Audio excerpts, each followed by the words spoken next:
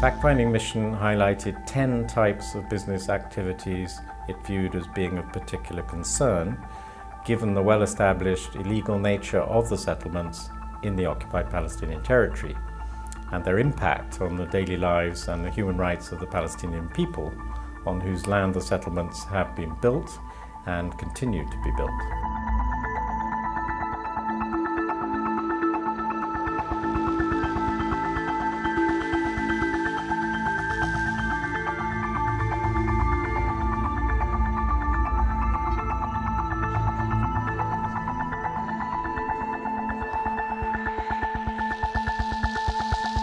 وهذا الأمر الذي سعينا من أجل أن يكون هناك جدية فيما يتعلق بالمؤسسات الدولية وخاصة الأمم المتحدة بما في مجلس حقوق الإنسان بنشر أسماء هذه الشركات حتى يتم اتخاذ إجراءات بحقها في حال أمعنت واستمرت بالتعاطي مع هذه المستوطنات غير الشرعيه وغير القانونيه.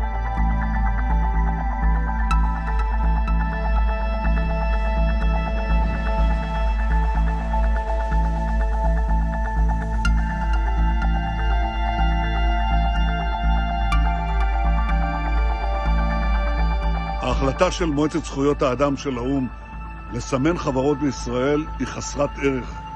הם מסומנים. מי שיחרים אותנו, מוחרם בעצמו. בשנים האחרונות קידמנו בארצות הברית, ויש כבר ברוב המדינות שם, חוקים שמי שמחרים את ישראל נענש בעצמו.